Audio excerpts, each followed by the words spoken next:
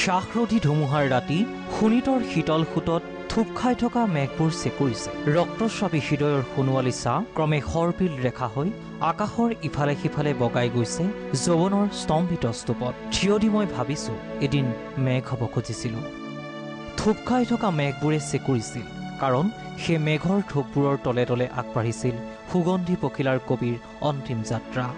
এই যাত্ৰাৰ লক্ষ্য নৱগ্ৰহ শ্মশান আশী বছৰীয়া এক বৰ্ণিল যাত্ৰাৰ শেষ ষ্টেচন নৱগ্ৰহ। এই শেষ যাত্ৰাত অসমীয়াৰ প্ৰাণৰো প্ৰাণৰ গানৰো গানৰ আপোন কবিজনৰ সংগী হ'ল অগণন গুণমুগ্ধ আৰু এজাক বৰষুণ। ফুলে কাঁইতে ঘৰ সজা কবিৰ এই শেষ যাত্ৰাত স্নেহতীৰ্থৰ পৰা নৱগ্ৰহলৈ সমগ্ৰ পথছোৱা হৈ পৰিছিল হিৰোদাপ্ৰেমী অজস্ৰজনৰ বাবে ভাল পোৱাৰ দিক চৌপাত।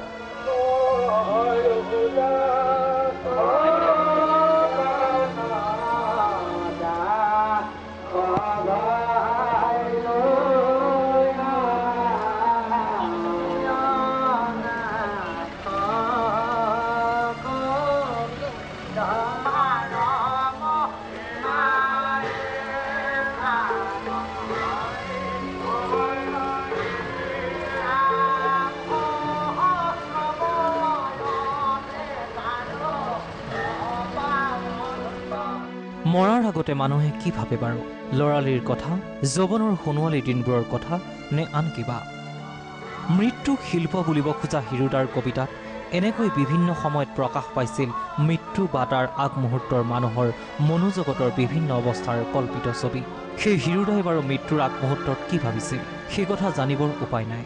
কিন্তু প্ৰেম আৰু ৰোদালিৰ কবি হিৰোদাৰ শেষ যাত্ৰাৰ সংগী হোৱা তেওঁৰ শেষ যাত্ৰা টেলিভিছনৰ পৰ্দাত প্ৰত্যক্ষ কৰা প্ৰতিজনেই ভাবিছিল হিৰোদা কেতিয়াও অতীত হ'ব নোৱাৰে। কাৰণ শব্দ সংঘ পাতি তেওঁ ইতিমধ্যেই প্ৰত্যেক অসমীয়াৰ হৃদয়ত অধিকাৰ কৰি লৈছে নিকাচি স্থান।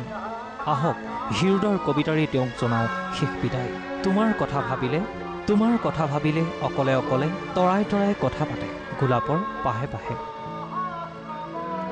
হিৰদা আমি সদায় ভাবিম সদায় সোঁৱৰিম তোমাৰ কথা তোমাৰ স্মৃতি। তেতিয়া তৰাই তৰাই কথা পাতিব।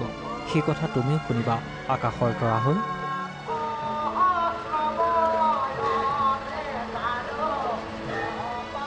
Bureau report news network.